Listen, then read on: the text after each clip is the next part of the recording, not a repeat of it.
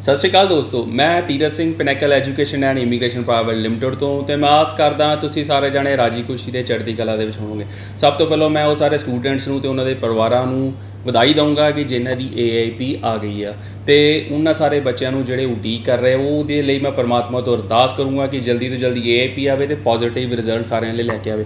ਤੇ ਜੇਕਰ ਕਿਸੇ ਵੀ ਬੱਚੇ ਦਾ 네ਗੇਟਿਵ ਰਿਜ਼ਲਟ ਆਉਂਦਾ ਤੇ ਪਲੀਜ਼ ਦਿਲ ਨਹੀਂ ਛੱਡਣਾ, ਉਸ ਚੀਜ਼ ਨੂੰ ਆਪਾਂ ਫੇਸ ਕਰਨਾ ਵਾ ਤੇ ਆਪਾਂ ਕੋਈ ਉਹਦੇ ਰਿਜ਼ਲਟ ਜ਼ਰੂਰ ਲੱਭਾਂਗੇ ਤੇ ਜ਼ਰੂਰ ਉਹਦੇ ਲਈ ਕੁਝ ਨਾ ਕੁਝ ਤੁਹਾਡੇ ਲਈ ਸੋਲੂਸ਼ਨ ਕਰਾਂਗੇ। ਬਟ ਹਿੰਮਤ ਨਹੀਂ ਛੱਡਣੀ ਕਿਸੇ ਵੀ, ਮੇਰੇ ਵੀ ਭੈਣ ਭਰਾ ਨੇ ਜਿਹਦਾ ਕਿ ਰਿਜ਼ਲਟ 네ਗੇਟਿਵ ਆਵੇ। ਤੇ ਅੱਜ ਜਿਹੜਾ ਹੁੰਦਾ ਲਾਈਵ ਆ, ਬਹੁਤ ਇੰਪੋਰਟੈਂਟ ਅੱਜ ਦਾ ਵੀ ਜਿੱਦਾਂ ਕਿ ਮੈਂ ਹਮੇਸ਼ਾ ਤੁਹਾਡੇ ਨਾਲ ਆਉਂਦਾ ਕੋਈ ਰੀਸੈਂਟ ਜਿਹੜੇ ਅਪਡੇਟ ਲੈ ਕੇ ਅੱਜ ਕੈਨੇਡਾ ਦੇ ਕੈਨੇਡਾ ਗਵਰਨਮੈਂਟ ਦੀ ਜਿਹੜੀ ਆਫੀਸ਼ੀਅਲ ਸਾਈਟਸ ਤੇ ਜਿਹੜੇ ਉਹਨਾਂ ਨੇ ਅਪਡੇਟ ਪਾਏ ਆ ਸਟੂਡੈਂਟ ਵੀਜ਼ਾ ਰਿਗਾਰਡਿੰਗ ਉਹ ਮੈਂ ਤੁਹਾਡੇ ਨਾਲ ਸ਼ੇਅਰ ਕਰੂੰਗਾ। ਅਸੀਂ ਆਪਣੇ ਫੇਸਬੁੱਕ ਪੇਜ ਤੇ ਵੀ ਇਹ ਜਿਹੜਾ ਅਪਡੇਟ ਆ ਸ਼ੇਅਰ ਕਰਤਾ ਵਾ। ਤੁਸੀਂ ਉਹਨਾਂ ਦੀ ਆਫੀਸ਼ੀਅਲ ਲਿੰਕਸ ਤੋਂ ਤੁਸੀਂ ਆਪ ਵੀ ਸਾਰੇ ਕੁਝ ਇਹਨੂੰ ਵੈਰੀਫਾਈ ਦੁਬਾਰਾ ਕਰ ਸਕਦੇ ਆ। ਇਹ ਬਹੁਤ ਲਾਹੇਵੰਦ ਆ ਬੇਟਾ, ਸਾਰਿਆਂ ਨੇ ਸੁਣਨਾ, ਜਿਨ੍ਹਾਂ ਦੀ ਫਾਈਲ ਲੱਗੀ ਹੋਈ ਆ ਜਾਂ ਜਿਨ੍ਹਾਂ ਨੇ ਫਾਈਲ ਲਾਉਣੀ ਆ ਜਾਂ ਆਲਰੇਡੀ ਜਿਹੜੇ ਕੈਨੇਡਾ ਗਏ ਹੋਏ ਸਟੂਡੈਂਟ ਪੜ੍ਹ ਰਹੇ ਆ। ਅੱਜ ਮੈਂ ਤੁਹਾਡੇ ਨਾਲ ਚਾਰ ਪੁਆਇੰਟ ਡਿਸਕਸ ਕਰਨੇ ਆ। ਪਹਿਲਾ ਪੁਆਇੰਟ ਡਿਸਕਸ ਕਰਨਾ, ਜਿਹੜੇ ਟੂ ਸਟੇजेस ਤੇ ਕਾਫੀ ਕਲੈਰੀਫਾਈ ਉਹਨਾਂ ਨੇ ਕੀਤੀ ਆ। ਦੂਸਰਾ ਜਿਹੜਾ ਵਾ CAQ ਕਿਊਬਿਕ ਦੇ ਕਾਫੀ ਬੱਚਿਆਂ ਦਾ ਸਵਾਲ ਆ। ਉਹਨਾਂ ਕੀ ਖਤਮ ਹੋ ਰਿਹਾ ਡੈਡਲਾਈਨ ਆ, ਕਿੰਨੀ ਦੇਰ ਤੱਕ ਵੈਲਿਡ ਰਹੇਗਾ? ਇੱਕ ਦੂਸਰਾ ਪੁਆਇੰਟ ਅਸੀਂ ਉੱਤੇ ਕਵਰ ਕਰਾਂਗੇ। ਥਰਡ ਪੁਆਇੰਟ ਜਿਹੜਾ ਕਰਾਂਗੇ, ਜਿਹੜੇ ਇੰਟਰਨੈਸ਼ਨਲ ਸਟੂਡੈਂਟਸ ਉੱਥੇ ਪੜ੍ਹਾਈ ਕਰ ਰਹੇ ਆ, ਉਹਨਾਂ ਨੂੰ ਕਿੱਦਾਂ ਦੀਆਂ ਪ੍ਰੋਬਲਮਸ ਆ ਰਹੀਆਂ ਤੇ ਉਹਨਾਂ ਨੂੰ ਕੀ ਹੁਣ ਕਰਨਾ ਚਾਹੀਦਾ? ਐਂਡ ਫੋਰਥ ਪੁਆਇੰਟ ਟਰੈਵਲ ਨੂੰ ਲੈ ਕੇ, ਜਿਹੜਾ ਕਿ ਬਹੁਤ ਜ਼ਰੂਰੀ ਆ। ਹਰ ਬੱਚੇ ਦਾ ਸਵਾਲ ਆ ਕਿ ਉਹ ਹੁਣ ਕਦੋਂ ਟਰੈਵਲ ਕਰ ਸਕੇਗਾ। ਤੇ ਹੁਣ ਪਹਿਲਾ ਪੁਆਇੰਟ ਜਿਹੜਾ ਆਪਣਾ ਅੱਜ ਦਾ ਡਿਸਕਸ਼ਨ ਪੁਆਇੰਟ ਆ ਤੇ ਟੂ ਸਟੇਜ ਵੀਜ਼ਾਸ ਨੂੰ ਲੈ ਕੇ ਆ, ਜਿਹੜਾ ਕਿ ਉਹਨਾਂ ਨੇ ਕਲੈਰੀ ਕਲੈਰੀਫਾਈ ਕਰਤਾ, ਤੁਸੀਂ ਅੱਜ ਆਪ ਵੀ ਜਾ ਕੇ ਆਫੀਸ਼ੀਅਲ ਸਾਈਟ ਦੇ ਗਵਰਨਮੈਂਟ ਆਫ ਕੈਨੇਡਾ ਦੀ ਤੇ ਸਾਈਟ ਤੇ ਜਾ ਕੇ ਤੁਸੀਂ ਚੈੱਕ ਕਰ ਸਕਦੇ ਆ। ਇਹਦਾ ਲਿੰਕ ਸਾਨੂੰ, ਤੁਹਾਨੂੰ ਸਾਡੇ ਫੇਸਬੁੱਕ ਪੇਜ ਤੇ ਪਿਨੈਕਲ ਦੇ ਫੇਸਬੁੱਕ ਪੇਜ ਤੇ ਵੀ ਮਿਲ ਸਕਦਾ। ਤੁਸੀਂ ਉੱਤੇ ਕਲਿੱਕ ਕਰਕੇ ਡਾਇਰੈਕਟ ਖੋਲ ਸਕਦੇ ਆ। ਉਹਨਾਂ ਨੇ ਸਾਰਾ ਕੁਝ ਕਲੈਰੀਫਾਈ ਕਰਤਾ ਕਿ ਜੇ ਤੁਸੀਂ ਆਨਲਾਈਨ ਫਾਈਲ ਲਾਉਂਦੇ ਆ, ਤੁਸੀਂ ਕਿੱਦਾਂ ਫਾਈਲ ਲਾ ਸਕਦੇ ਨੋ ਡਾਊਟ ਥੋੜੀਆਂ ਟੈਕਨੀਕਲ ਰੀਜ਼ਨਸ ਆ ਬਟ ਮੈਂ ਚਾਹੂੰਗਾ ਕਿ ਤੁਸੀਂ ਉਹਨਾਂ ਨੂੰ ਜ਼ਰੂਰ ਪੜੋ ਜੇਕਰ ਤੁਹਾਡੇ ਕੋਲ ਕੋਈ ਡਾਕੂਮੈਂਟ ਘੱਟ ਹੈ ਜਸਟ ਲਾਈਕ ਮੈਡੀਕਲ ਤੇ ਚਲੋ ਨੈਸੈਸਰੀ ਹੈ ਜਾਂ ਬਾਇਓਮੈਟ੍ਰਿਕ ਜਾਂ ਕੋਈ ਹੋਰ ਡਾਕੂਮੈਂਟ ਤੁਸੀਂ ਅਜੇ ਨਹੀਂ ਪ੍ਰੋਵਾਈਡ ਕਰ ਰਹੇ ਦਾ reason is that number of factors ਆ, ਤੁਸੀਂ ਉਹਨੂੰ ਸਾਰਾ ਕੁਝ ਜ਼ਰੂਰ ਚੈੱਕ ਕਰੋ। ਬਟ ਜਿਹੜੇ ਕੰਮ ਦੀ ਗੱਲ ਤੁਹਾਡੇ ਲਈ ਟੂ ਸਟੇजेस ਵੀਜ਼ਾਸ ਤੇ ਆ, ਤੇ ਆਲਰੇਡੀ ਜਿੱਦਾਂ ਉਹਨਾਂ ਨੇ ਪਹਿਲਾਂ ਵੀ ਦੱਸਿਆ ਹੋਇਆ ਸੀਗਾ ਕਿਹੜੇ ਫੈਕਟਰਸ ਤੇ ਉਹ ਵੀਜ਼ਾ ਸਿਰਫ ਡਿਸਅਪਰੂਵ ਕਰਨਗੇ। ਤੇ ਬਟ ਹੁਣ ਜਿਹੜਾ ਇੱਕ ਉਹਨਾਂ ਨੇ ਚਾਰ ਪੁਆਇੰਟਸ ਜਿਹੜੇ ਉਹਨੂੰ ਕਿਹਾ ਕਿ ਜਿਨ੍ਹਾਂ ਤੇ ਉਹ ਵੀਜ਼ਾ ਜਿਹੜਾ ਸੈਕੰਡ ਸਟੇਜ ਤੇ ਬੱਚੇ ਦਾ ਰਿਫਿਊਜ਼ ਹੋ ਸਕਦਾ, ਪਹਿਲਾ ਮੈਡੀਕਲ ਦੂਸਰਾ ਜਿਹੜਾ ਸੀ ਬਾਇਓਮੈਟ੍ਰਿਕ ਥਰਡ ਪੀਸੀਸੀ ਪਰ ਉਹਨੇ ਇਹ ਵੀ ਨਾਲ ਲਿਖਤਾ ਕਿ ਇਫ ਨੀਡਡ ਸੋ ਸਾਰੇ ਬੱਚਿਆਂ ਨੂੰ ਜ਼ਰੂਰੀ ਨਹੀਂ ਹੋਗਾ ਇਫ ਨੀਡਡ ਜੇ ਲੋਡ ਹੋਗੀ ਤਾਂ ਤੁਹਾਨੂੰ ਪਾਰਟਿਕੂਲਰ ਪਰਸਨ ਟੂ ਪਰਸਨ ਉਹ ਤੁਹਾਨੂੰ ਮੇਲ ਪਾ ਕੇ ਜ਼ਰੂਰ ਦੱਸਣਗੇ। ਇੱਕ ਚੌਥਾ ਪੁਆਇੰਟ ਇਹਦੇ ਵਿੱਚ ਜ਼ਰੂਰ ਖਿਆਲ ਕਰਨਾ, ਉਹਨੇ ਨਵਾਂ ਐਡ ਆਨ ਕੀਤਾ ਕੋਈ ਪਹਿਲੋਂ ਤਿੰਨ ਪੁਆਇੰਟ ਸੀਗਾ ਜਿਹੜਾ ਸੈਕੰਡ ਸਟੇਜ ਤੇ ਵੀਜ਼ਾ ਸੀ, ਉਹਨਾਂ ਨੇ ਕਿਹਾ ਸੀਗਾ ਕਿ ਐਨੀ ਇਨਫੋਰਮੇਸ਼ਨ ਜੇਕਰ ਤੁਸੀਂ ਚੇਂਜ ਹੁੰਦੀ ਆ, ਜਿਹਦੇ ਨਾਲ ਤੁਹਾਨੂੰ ਏਏਪੀ ਅਪਰੂਵ ਹੋਈ ਹੈ ਇਨੀਸ਼ੀਅਲ ਸਟੇਜ ਤੇ, ਜੇ ਚੇਂਜ ਹੁੰਦੀ ਆ ਤਾਂ ਸੈਕੰਡ ਸਟੇਜ ਤੇ ਉਹ ਤੁਹਾਡਾ ਰਿਫਿਊਜ਼ਲ ਦਾ ਰੀਜ਼ਨ ਬਣ ਸਕਦਾ। ਇੱਕ ਐਗਜ਼ਾਮਪਲ ਦੇ ਦੇਵਾਂ, ਤੁਸੀਂ ਸਾਰਿਆਂ ਨੇ ਕੀ ਕਰਨਾ, ਡਰਨਾ ਨਹੀਂ ਕਿਸੇ ਨੇ ਵੀ, ਮੇਰੇ ਛੋਟੇ ਭੈਣ ਭਰਾਵਾਂ ਨੇ। ਬਟ ਅੱਜ ਦੀ ਡੇਟ 'ਚ ਇੱਕ ਗੱਲ ਕਲੀਅਰ ਹੈ ਕਿ ਕੈਨੇਡਾ ਥੋੜਾ ਜਿਹਾ ਡੇਲੀ ਅਪਡੇਟ ਆ ਰਿਹਾ, ਨਵਾਂ ਸਿਸਟਮ ਆ। ਸੋ ਹਰ ਕਿਸੇ ਨੂੰ ਟਾਈਮ ਲੱਗਦਾ ਜਦੋਂ ਅਸੀਂ ਨਵੀਂ ਤੋਂ ਵੱਖਰੀ ਤੋਂ ਵੱਖਰੀ ਵੀਡੀਓਜ਼ ਵੀ ਦੇਖਦੇ ਆ। ਤੇ ਬੱਚਾ ਕਨਫਿਊਜ਼ ਹੁੰਦਾ ਬਟ ਕਨਫਿਊਜ਼ ਨਹੀਂ ਹੋਣਾ। ਮੇਰੀ ਮੰਨਣਾ ਇਹ ਹੈ ਕਿ ਹਰ ਤੁਸੀਂ ਜਿਹੜੀ ਆਫੀਸ਼ੀਅਲ ਸਟੇਟਮੈਂਟ ਆ ਰਿਟਨ ਆਈ ਆ, ਕੈਨੇਡਾ ਦੀ ਗਵਰਨਮੈਂਟ ਦੀ ਸਾਈਟ ਤੇ ਸਿਰਫ ਉਹਨੂੰ ਹੀ ਸੱਚ ਮੰਨਣਾ। ਇਹ ਜਿਹੜੀਆਂ ਤੁਹਾਡੇ ਨਾਲ ਡਿਸਕਸ਼ਨ ਕਰ ਰਹੇ ਆ, ਸਾਰੀਆਂ ਕੈਨੇਡਾ ਦੀ ਆਫੀਸ਼ੀਅਲ ਸਾਈਟ ਤੇ, ਬਿਲਕੁਲ ਵੀ ਨਹੀਂ ਡਰਨਾ। ਬਸ ਅਪਡੇਟ ਰਹਿਣਾ, ਨਾਲ ਦੀ ਨਾਲ ਅਪਡੇਟ ਆਪਣੇ ਆਪ ਨੂੰ ਕਰਦਾ ਰਹਿਣਾ ਤੇ ਜੇਕਰ ਤੁਹਾਡੀ ਫਾਈਲ 'ਚ ਕੋਈ ਵੀ ਚੇਂਜਸ ਹੁੰਦੇ ਤੇ ਨਾਲ ਦੀ ਨਾਲ ਆਪਾਂ ਆਈਐਸਸੀਸੀ ਨੂੰ ਅਪਡੇਟ ਜ਼ਰੂਰ ਕਰਨਾ ਵਾ। ਤੇ ਇਹਦੇ ਵਿੱਚ ਜਿਹੜਾ ਪੁਆਇੰਟ ਮੈਂ ਤੁਹਾਨੂੰ ਕਹਿਣਾ, ਉਹਨਾਂ ਨੇ ਕਿਹਾ ਕਿ ਤੁਹਾਡਾ ਰਿਫਿਊਜ਼ਲ ਹੋ ਸਕਦੀ ਆ, ਜੇਕਰ ਤੁਹਾਡੇ ਕਿਸੇ ਵੀ ਤਰ੍ਹਾਂ ਦਾ ਚੇਂਜਸ ਫਾਈਲ ਦੇ ਵਿੱਚ ਜਾਂ ਤੁਹਾਡੀ ਪ੍ਰੋਫਾਈਲ ਦੇ ਵਿੱਚ ਆਉਂਦਾ। ਸੋ ਇਸ ਲਈ ਮੈਂ ਤੁਹਾਨੂੰ ਐਡਵਾਈਸ ਕਰੂੰਗਾ, ਚਾਹੇ ਤੁਸੀਂ ਐਡਰੈਸ ਚੇਂਜ ਕਰਦੇ ਹੋ ਕੁਝ ਵੀ ਵਟਐਵਰ ਛੋਟੀ ਤੋਂ ਛੋਟੀ ਚੀਜ਼ ਵੀ ਹੁੰਦੀ ਆ ਐਲਓਏ ਦੇ ਵਿੱਚ ਵੀ ਆ whatever any kind of changes ਆ, ਤੁਸੀਂ ਨਾਲ ਦੀ ਨਾਲ ਅਪਡੇਟ ਕਰਨਾ, ਕਿਉਂਕਿ ਤੁਹਾਨੂੰ ਕੋਈ ਬਾਤ ਵਿੱਚ ਕਿਸੇ ਵੀ ਤਰ੍ਹਾਂ ਦਾ ਨਿਰਾਸ਼ਾ ਦਾ ਸਾਹਮਣਾ ਨਾ ਕਰਨਾ ਪਵੇ।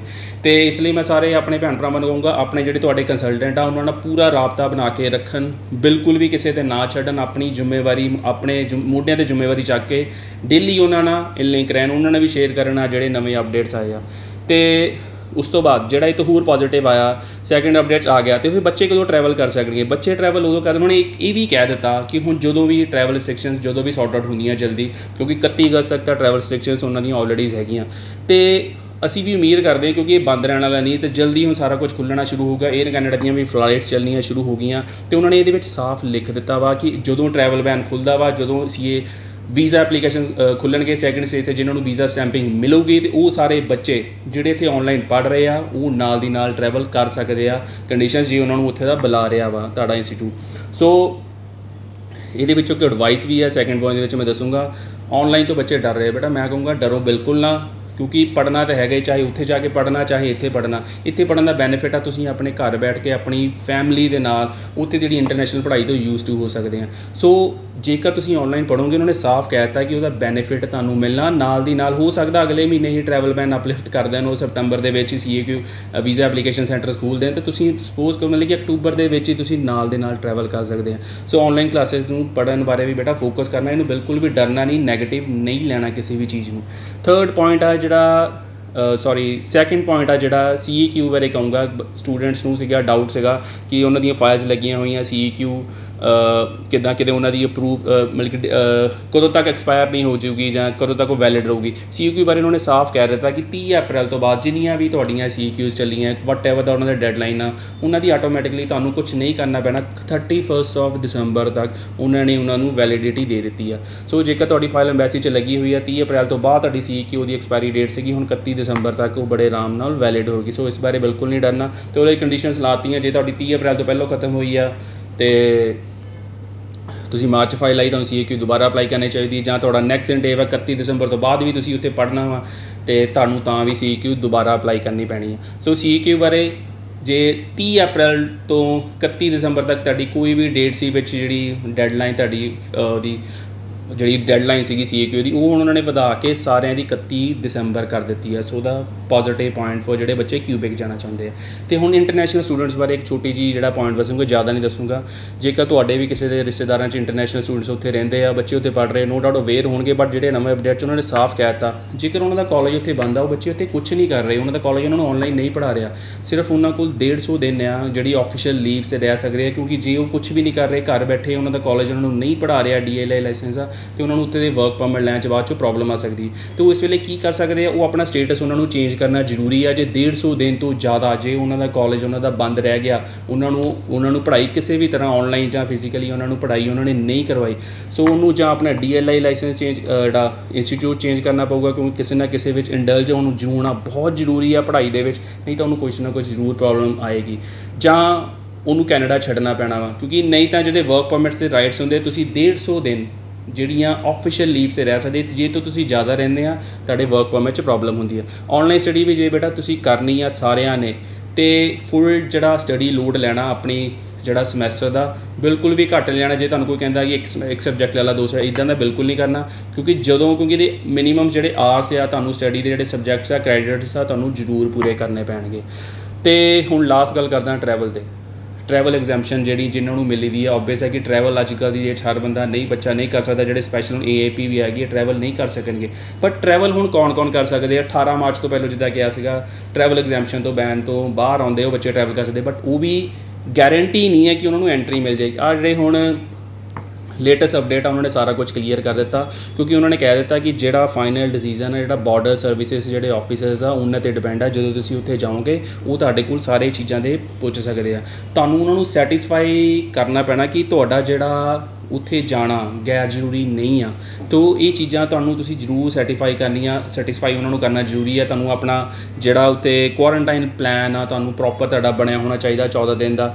ਸੋ ਇੱਕ ਹੋਰ ਗੱਲ ਜਿਹੜਾ ਇਹਦੇ ਤੋਂ ਪੋਜ਼ਿਟਿਵ ਨਿਕਲਸ ਕੇ ਆਈਆਂ 18 ਮਾਰਚ ਤੋਂ, ਕਿਉਂਕਿ ਮੈਂ ਇੱਕ ਹੋਰ ਕਹੂੰਗਾ ਕਿ ਉਹਨਾਂ ਨੇ ਸਪੈਸ਼ਲ ਕਿਹਾ ਕਿਸੇ ਵੀ ਬੱਚੇ ਨੂੰ, ਕਿਉਂਕਿ ਹੁਣ ਕਾਲਜਸ ਨੇ ਲੈਟਰਸ ਦੇਣੀਆਂ ਸ਼ੁਰੂ ਕਰ ਦਿੱਤੀਆਂ ਵਾ ਬੱਚਿਆਂ ਨੂੰ। ਤੇ ਉਹਨਾਂ ਨੇ ਹਾਂ ਇੱਕ ਮੈਂਸ਼ਨ ਵੀ ਕੀਤੀ ਇਹ ਚੀਜ਼ ਆ, ਜੇਕਰ ਤੁਹਾਨੂੰ ਤੁਹਾਡੀ ਇੰਟਰਨੈਟ ਸਪੀਡ ਜਾਂ ਇੰਟਰਨੈਟ ਕਰਕੇ ਕਿਸੇ ਤਰ੍ਹਾਂ ਦੇ ਵੀ ਪ੍ਰੋਬਲਮ ਆ, ਤੁਸੀਂ ਟਰੈਵਲ ਕਰ ਸਕਦੇ ਆ। ਬਟ ਮੇਰੀ ਇੱਕ ਐਡਵਾਈਸ ਆ, ਉਹਨਾਂ ਨੇ ਵੀ ਇੱਕ ਸਪੈਸ਼ਲ ਇੱਕ ਮੈਂਸ਼ਨ ਕੀਤੀ ਹੈ ਕਿ ਬਾਰਡਰ ਇਨਫੋਰਮੇਸ਼ਨ ਸਰਵਿਸਿਜ਼ ਆ।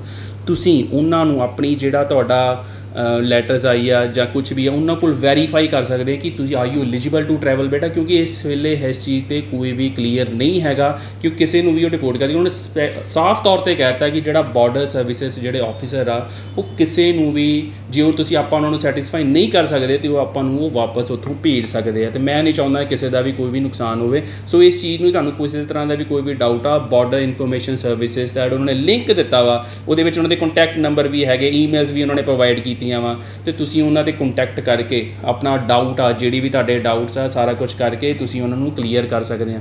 ਕਿਉਂਕਿ ਉਹਨਾਂ ਨੇ ਟਰੈਵਲ ਦੇ ਇੱਕ ਚੀਜ਼ ਦੀ ਜ਼ਰੂਰ ਕਿਹਾ ਕਿ ਟਰੈਵਲ ਵਾਸਤੇ ਕਿਹੜੀਆਂ ਚੀਜ਼ਾਂ ਐਸੈਂਸ਼ੀਅਲ ਹੈ ਜੇ 18 ਮਾਰਚ ਤੋਂ ਪਹਿਲਾਂ ਜਾਣਾ ਵਾ, ਤੁਹਾਡਾ ਜਿਹੜਾ ਡੀਐਲਆਈ ਉੱਥੇ ਖੁੱਲਾ ਵਾ, ਜਿਹੜਾ ਇੰਸਟੀਚਿਊਟ ਆ, ਤੁਹਾਡਾ ਕਾਲਜ ਜਾਂ ਯੂਨੀਵਰਸਿਟੀ ਉੱਥੇ ਖੁੱਲਾ ਵਾ, ਤੁਹਾਨੂੰ ਉੱਥੇ ਪੜਾਉਣ ਨੂੰ ਤਿਆਰ ਬੈਠਾ ਵਾ, ਤੇ ਤੁਹਾਨੂੰ ਆਨਲਾਈਨ ਜੇ ਫੈਸਿਲਿਟੀ ਵੀ ਉਹ ਪ੍ਰੋਵਾਈਡ ਕਰ ਰਿਹਾ but just due to some reasons ਕਿ ਤੁਸੀਂ ਇੱਥੇ ਇੰਡੀਆ ਕਿਉਂ ਨਹੀਂ ਪੜ ਸਕਦੇ, ਜਾਂ ਜਿਹੜੀ ਤੁਹਾਡੀ ਪੜ੍ਹਾਈ ਆ ਉਹ ਉਹ ਪ੍ਰੈਕਟੀਕਲ ਆ, ਤੁਹਾਨੂੰ ਤੇ ਵਰਕਸ਼ਾਪਸ ਅਟੈਂਡ ਕਰਨੀਆਂ ਪੈਣੀਆਂ, ਸੋ ਤੁਹਾਡੇ ਲਈ ਬਹੁਤ ਜ਼ਰੂਰੀ ਆ। ਸੋ ਜਿਹੜੇ ਨੰਬਰ ਆਫ ਜਿਹੜੇ ਚਾਰ ਇੰਪੋਰਟੈਂਟ ਅਪਡੇਟਸ ਸੀਗੇ, ਅੱਜ ਮੈਂ ਤੁਹਾਡੇ ਨਾਲ ਸ਼ੇਅਰ ਕੀਤੇ ਨੇ ਬਰੀਫ ਸ਼ਾਰਟ ਦੇ ਵਿੱਚ ਸ਼ੇਅਰ ਕੀਤੇ ਆ ਜੇ ਤੁਸੀਂ ਇਹਦੀ ਪੂਰੀ ਪ੍ਰੋਪਰ ਨੌਲੇਜ ਲੈਣਾ ਚਾਹੁੰਦੇ ਆ, ਸਾਡੇ ਫੇਸਬੁੱਕ ਪੇਜ ਤੇ ਤੁਸੀਂ ਇਹਦਾ ਲਿੰਕ ਤੇ ਕਲਿੱਕ ਕਰਕੇ ਤੁਸੀਂ ਆਪ ਸਾਰੀ ਇਸ ਸਾਰੀ ਇਨਫੋਰਮੇਸ਼ਨ ਨੂੰ ਦੁਬਾਰਾ ਰਿਵਿਊ ਕਰ ਸਕਦੇ ਹੋ ਤੇ ਮੈਂ ਐਡਵਾਈਸ ਕਰੂੰਗਾ ਆਪਣੇ ਸਾਰੇ ਜਿਹੜੇ ਤੁਹਾਡੇ ਕੰਸਲਟੈਂਟ ਜਿੱਥੋਂ ਤੁਹਾਡੀਆਂ ਫਾਈਲਸ ਲੱਗੀਆਂ ਹੋਈਆਂ, ਜਰੂਰ ਉਹਨਾਂ ਨਾਲ ਰਾਬਤਾ ਕਰੋ, ਕਿਉਂਕਿ ਜਿਹੜਾ ਕੈਨੇਡਾ ਡੇਲੀ ਨਵੇਂ ਤੋਂ ਨਵੇਂ ਅਪਡੇਟ ਲਿਆ ਕੇ ਆ ਰਿਹਾ। ਤੋਂ ਹਰ ਬੱਚੇ ਨੂੰ ਅਪਡੇਟ ਰਹਿਣ ਦੀ ਜ਼ਰੂਰਤ ਹੈ। ਸੋ ਇਸ ਜਿਹੜੀ ਵੀਡੀਓ ਨੂੰ ਜਾਂ ਇਸ ਪੇਜ ਨੂੰ, ਸਾਡੇ ਫੇਸਬੁੱਕ ਪੇਜ ਨੂੰ ਵੀ ਆ ਡੱਲਾ ਜੀ ਦੇ YouTube ਪੇਜ ਨੂੰ ਵੀ ਵੱਧ ਤੋਂ ਵੱਧ ਲਾਈਕ ਤੇ ਸ਼ੇਅਰ ਕਰੋ।